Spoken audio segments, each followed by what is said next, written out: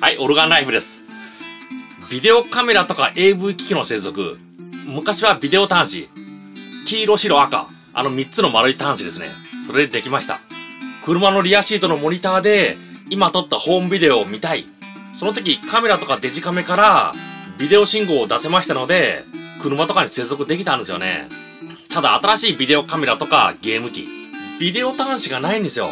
HDMI の端子だけになりました。理由としてはコスト削減ですね。端子を少なくできれば、コストが安くできる。まあ、ビビたるものですけど、そこの部分を削って安くしたいわけですからね。間回路の部分に新しいものを入れられる。バッテリーを大きくして寿命を伸ばせる。ですので中の回路、わずかな部分でも節約できれば、利点はあるんですよね。ただ先ほどのビデオ端子、完全にニーズがないかと言ったらそうでもないんですよね。特に車ですよ。車の端子はビデオ端子。でも買い替えたビデオカメラは HDMI だけ。まあそうなったらもう接続できないのか。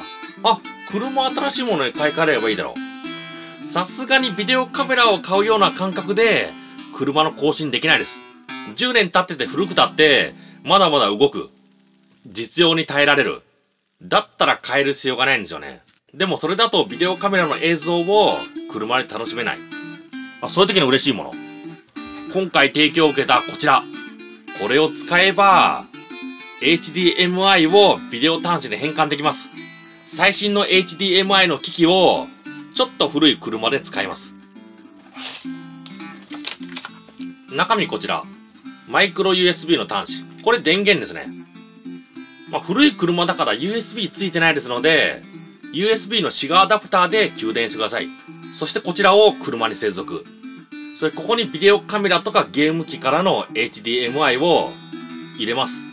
これで、まあ、ちょっと古い車でも HDMI の映像を楽しめます。HDMI の新しい機器を古い車に接続ですね。車の AV 機器って高いですからね。最新の AVN とか揃えると、まあ、20万とかいくんじゃないですかね。ヘッドユニットと、あと後部座席のモニター。ただ時々見るだけあとは子供をあやしたいとか、まあ、そういう用途。そういうことであれば、こちらで変換して映像を流す。それが一番硬いのかなって思いますね。最新の再生機器だったら、HDMI。まあ、標準でついてますよ。ゲーム機、DVD プレイヤー、ブルーレイプレイヤー、パソコン、タブレット。すべてが HDMI に対応してますよ。だからそれを古い車で楽しめます。まあ、あと他の利用方法としては、設備のモニターがビデオ端子だけ。ただそこを工事するとお金かかる。何百万とかかる。でも最新の HDMI の機器を接続したい。こちらですよ。このビデオ端子をテレビ、モニターに接続。それこちらを手持ちの AV 機器に接続。これで対応できますね。パソコンの映像を古いプロジェクターに出力したい。こちらが使えますね。10年前、ビデオ入力端子、普通にあったんですけど、最近のもの、なくなってますよ。本当に早く古いものがなくなってきますね。まさかこんなに汎用的に使えるビデオ出力がなくなる。思わなかったですからね。